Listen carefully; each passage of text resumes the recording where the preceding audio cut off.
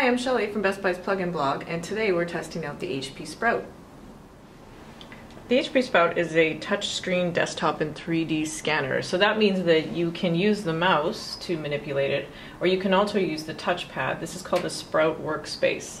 If you want to scan something in 3D, capture a picture, or just play with the piano, you can do so right here on the touchpad.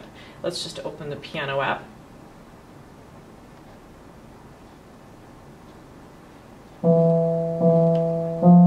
Great at the piano, but I used to be able to play a really great Silent Night. Not so much anymore. But anyway, you get an idea of what the HP Sprout can do. Nah, I'm not very good. You can also play other songs. Maybe play along if you want to learn.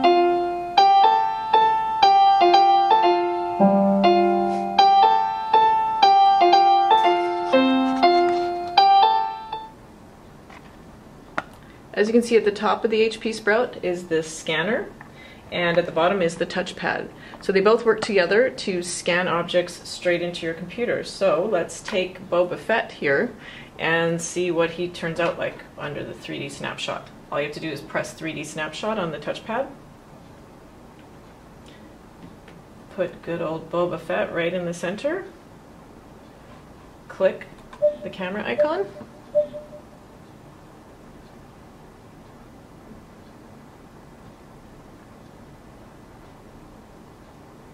And just wait.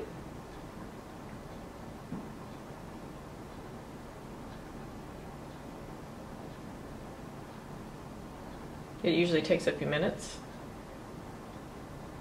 And there he is, right on the screen. Once you have him in the screen, you can manipulate him via the touchpad. First you have to hit accept, actually. Then you change colors. I don't know if Boba Fett wants to be green. Let's try him in yellow. Maybe red. You can change the background. Oh. Now Boba Fett's stuck in red. You can make him 2D.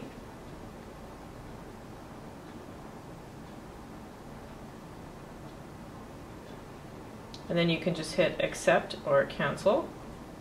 And if you want to cancel because we don't really like Boba Fett being red, we will just scan him again. We're going to try to 3D capture my son's Tsum. So you just hit 3D capture, and I've got him face up now, so that should capture the top instead of the sides.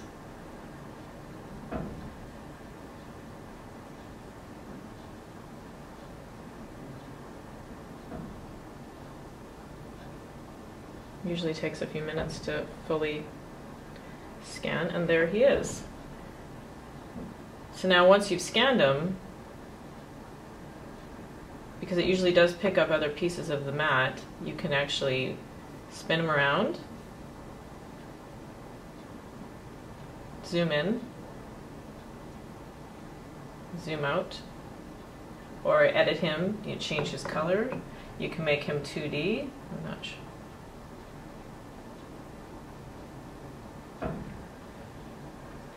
And then you can hit save.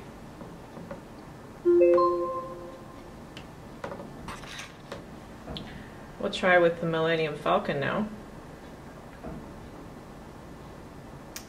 That's cool. And once you've captured the image, you can manipulate it, um, change the background, that kind of thing.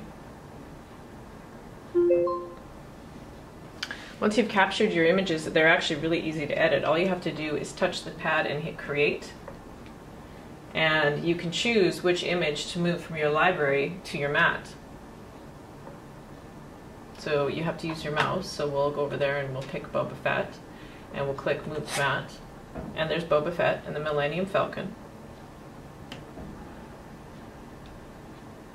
And you can add text, uh, change the background, twist them around, make them bigger.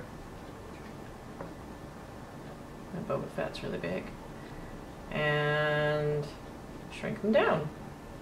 So basically anything you want to do, change their color, create a file and and add text. You can make a poster. You can do anything in Create. Even when you're not capturing images or 3D snapshots, there's so much you can do on this computer.